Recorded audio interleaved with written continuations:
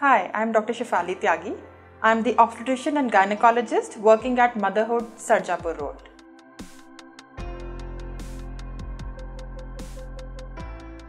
Caesarean delivery is an operative procedure where your tummy is cut low down and the baby is uh, delivered via abdominal route. So, the healing of the stitches takes a little longer compared to a normal vaginal delivery. So, how soon you can have relations after the cesarean?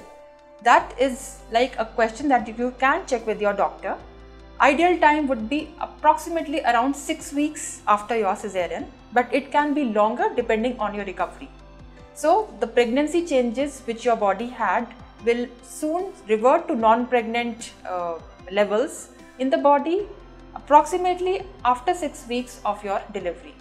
So, the uterus, which remains big soon after de- delivery, shrinks to a normal non pregnant small size. The bleeding pattern changes, you start having lochia instead of the normal bleeding, and which also comes down. And your body recovers from the changes it underwent during the pregnancy all these changes go back to normal by 6 weeks. So that is the time that you can actually indulge in having relations once again.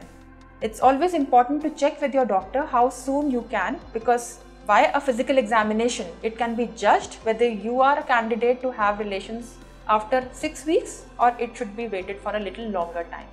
Initially when you uh, resume intercourse it can be slightly painful and the vaginal dryness is very common especially if you are breastfeeding. So discuss this as well with your doctor so that you can use some lubricating jellies and it will be easy for you. Go slow uh, assume a position which is more comfortable to you breast can ache while you are having intercourse because they'll get filled with milk very fast. All this can be discussed with the doctor and you can find out what are the solutions to these problems and indulge in having relations maybe after 6 weeks of your delivery